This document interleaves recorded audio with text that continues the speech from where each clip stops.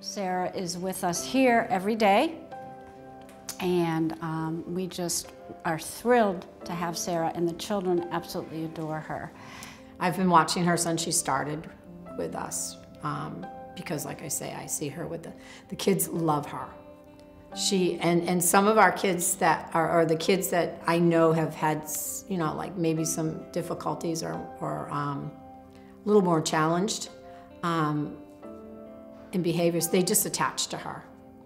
And she's just so calm with them and they, they love her. I started working for the Y as a camp counselor when I was still in college. I met Patty in 2019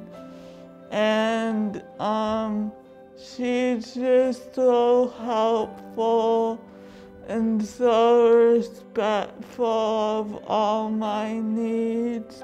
Um, she answers every question I have.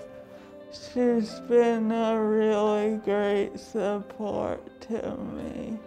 When I say support, not only is she silly and goofy with the kids and the teachers, however, she also enjoys writing curriculum.